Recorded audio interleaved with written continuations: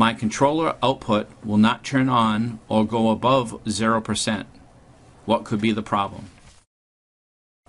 This video tutorial will show you how to change the output high limit op.hi so that your controller can turn on. We are using a Eurotherm 2200 series controller.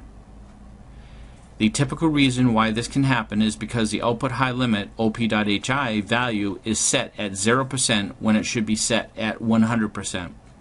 Now we must check the output high limit value to see if this is the limiting reason why the controller's output will not turn on or go above 0%.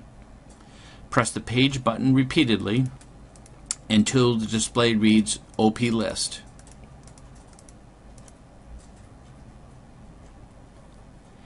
If you do not see the OP list, then the list is hidden from the operator.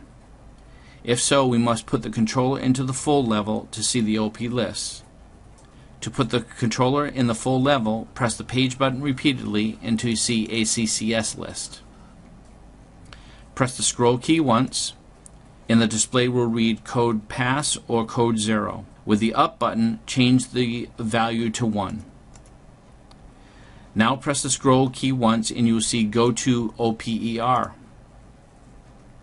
With the up or down buttons, change the OPER to full. Now press the scroll button once.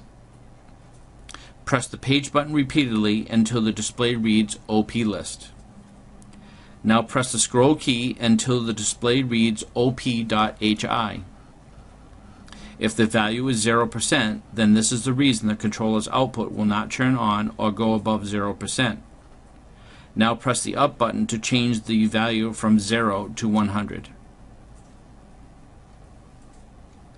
Now press both the page and scroll buttons together and this will bring you back to the home display.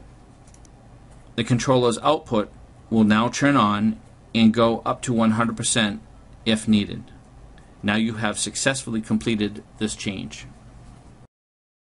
For information on all of our control solutions, please visit our website at www.nets-inc.com.